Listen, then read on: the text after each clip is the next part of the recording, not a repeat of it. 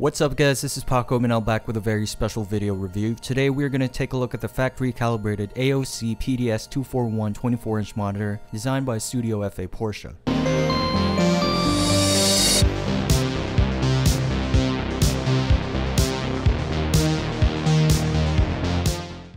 Porsche brand is synonymous with performance but also with a certain flavor of functional, reliable, no-nonsense design. Latest to benefit from the particular Studio FA Porsche treatment is AOC with a new range of screens. This month, AOC will release two monitors aimed at the aspiring designers and content creators. AOC PDS241 and its 27-inch version, the AOC PDS271, both feature the same specs including full HD resolution, IPS panel, and the same stylish and minimalist design, with the external power box which houses the HDMI input. This PDS241 model will be sold for around $245. Here are its full specifications. 23.8 inches screen, 1920 by 1080 resolution, 16 by 9 aspect ratio, IPS panel, 60 Hz, 4ms gray to gray response time, 1 HDMI 1.4 port, 1 headphone output with a brightness of 250 CD, static contrast of 1000 to 1, dynamic contrast of 50 million to 1, and a pixel pitch of 0.27 millimeters. Taking a look at what comes in the package apart from the power cable and the power brick, there's a short mini HDMI cable. No full-sized HDMI cable is included. This won't be a problem as I'm sure you have an HDMI cable laying around anyway.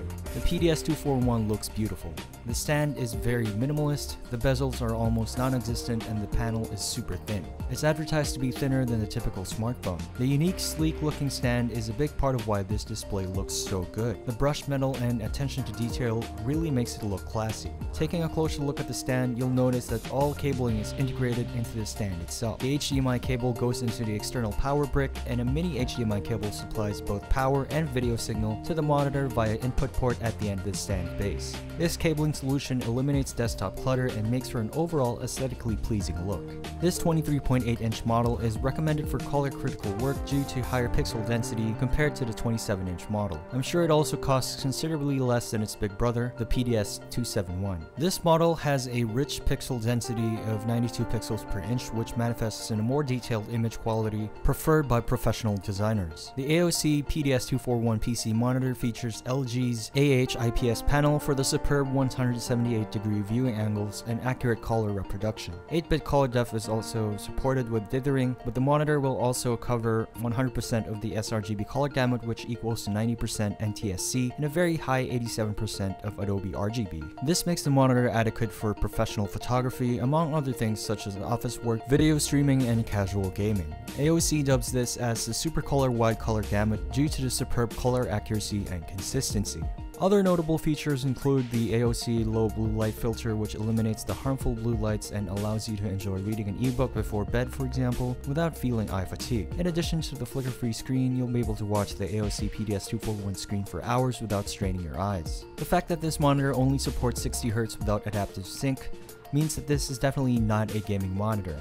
However, the PDS241 offers a quick 4 millisecond response time speed, which means you'll still be able to play all your games without too much blur or ghosting in fast-paced scenes. However, if you're looking for a monitor specifically for gaming, I would recommend you look at other options with adaptive sync faster response time, and a higher refresh rate. The monitor is not aimed at gamers. While this is a very capable monitor for office work and color critical applications, it does have its downsides and limitations however. The striking design comes at a cost of limited ergonomic support as there is no VESA mount compatibility, and the monitor is tilted only by 3.5 degrees forward and 21.5 degrees backward. There is also no height adjust on this monitor. The monitor also has the most simplistic OSD I've ever seen on any monitor. The one button menu system only allows you to adjust the brightness and contrast, overdrive volume, and language settings. There are no color calibration options available, which is very surprising and alarming to see. Thankfully, the screen looks amazing out of the box anyway, so it's easy to overlook the fact that you can't get down to the nitty gritty of personally calibrating your screen using the OSD. So what's the bottom line? If you're an aspiring content creator or office worker looking for a truly unique, sleek looking premium monitor that doesn't break the bank, the AOC PDS241 is a good choice. This monitor is undeniably beautiful and it features stunning color accuracy. However, if you're a gamer, I would definitely suggest you look at other monitors that are intended for gaming use. There you have it guys, my quick video preview of the AOC PDS241 monitor designed by Studio FA Porsche. Like, comment, subscribe if you found this video to be informative. As always, I'm your host, Paco Manel, and I'll catch you in a future video.